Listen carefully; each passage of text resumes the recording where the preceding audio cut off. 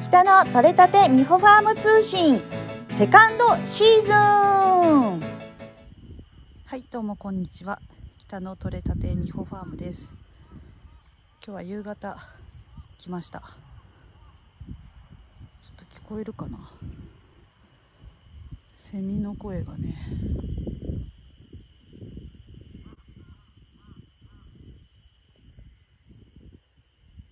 セミとねカエルが鳴いてるの。なんか夏にセミがすごいね鳴くって感じじゃなくて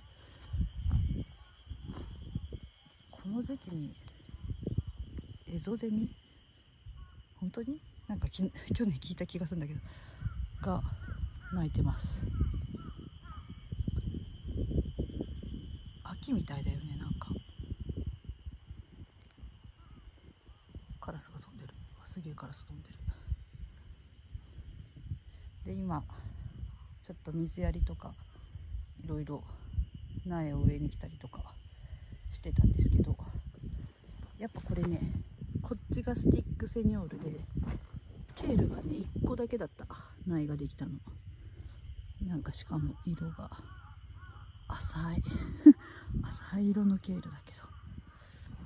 でセニョールがだけあって背が高くなるのでちょっと囲いを考えなきゃなっていうとこですね。それでうわめっちゃカラスが飛んでる。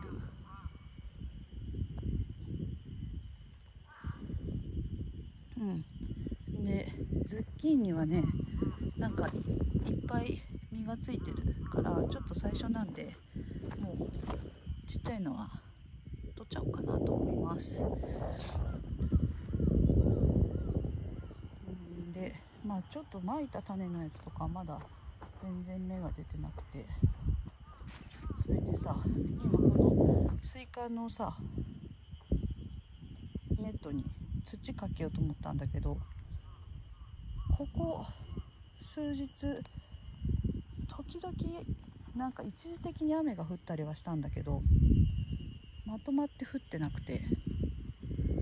そしたらもうね土がねガッチガチなの。いくよ。ほら。全然クワが入んないの。もうねスコップじゃね掘れないいやもうやばいよだからまあマルチはね剥がれないと思うこんだけガチガチだったら。ね。っていう。でナスとかはちょっとずつもうこれいらないかなと思って1個外したんだけどまだいるかな。もういらない気がするんだよな。花も咲いちゃってでパプリカとピーマンでスナップも1個花が咲き始めた。でここ直にまいた種も芽が出てるし。インゲンもちょっと心配だったんだけど葉っぱ増えてきてるから。大丈夫そうかな。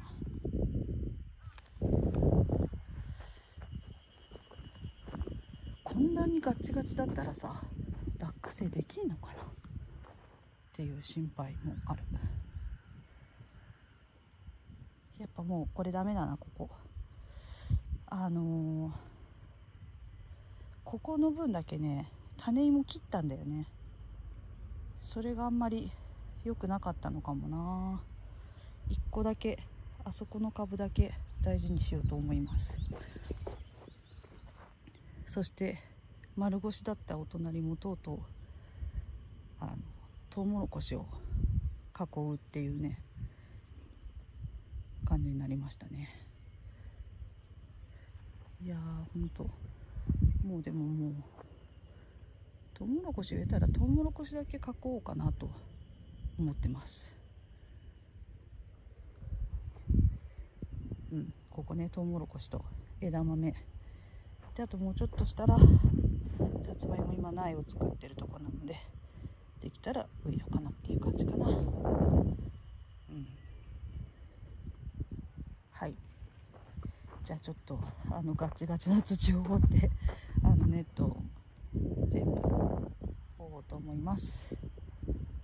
それではまた。